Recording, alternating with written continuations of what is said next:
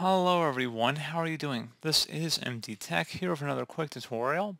In today's tutorial, I'm going to show you guys how to resolve if your Google Chrome's top toolbar is missing and you're experiencing this on your Windows 10 or Windows 11 computer. So I imagine this could definitely be a frustrating issue. And in today's tutorial, I'm going to show you guys how to hopefully resolve it without too much of a hassle. And we're going to go ahead and jump straight into it. So first thing is first, I'm going to have a link in the description of the video to a Chrome settings page. So go ahead and just copy that from the description of my video and then go and paste it into the address bar and hit enter.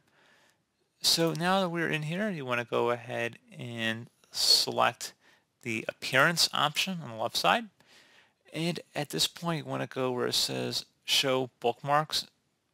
You want to turn on the show bookmarks bar as well as show the home button. And at this point, you should have that toolbar on your screen. And that's pretty much it. So as always, thank you guys for watching this brief tutorial. I do hope I was able to help you out, and I do look forward to catching you all in the next tutorial. Goodbye.